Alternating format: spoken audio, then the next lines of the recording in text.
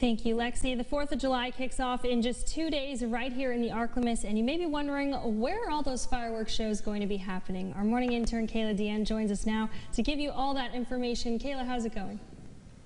That's right, Hunter. July 4th is coming up fast, and I know I'm so excited for it. Earlier this week, I mentioned the fireworks shows happening around the area, and if you are wanting more information on those, follow along right here.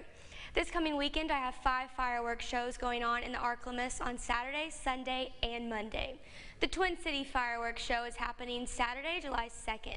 The fireworks will shoot off from the Endom Bridge at 9 p.m. and the best spots to view are either in the downtown or on the West Monroe Levee.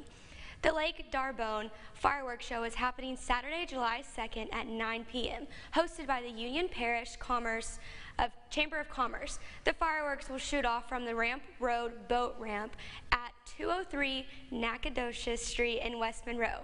There's also a Kinder Scott pop-up, and this is all put on by the downtown West Monroe.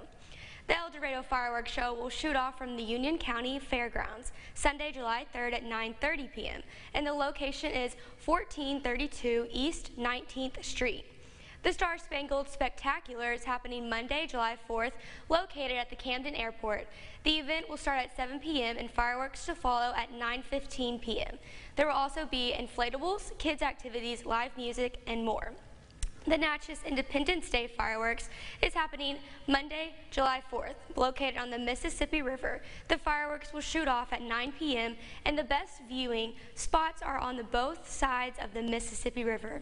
If you missed these, come back tomorrow to hear more about the fireworks shows and other events going on in, on, in the ArkLaMiss. Well, thank you so much, Cayla. Definitely a lot going on this weekend. A, a lot. Coming up on NBC 10, a new makeup studio is now in Ruston. We'll be right back.